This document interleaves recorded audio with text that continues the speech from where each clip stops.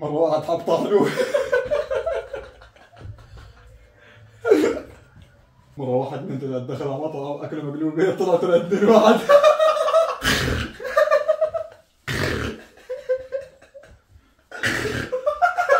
أحكي لك نكتة سريعة.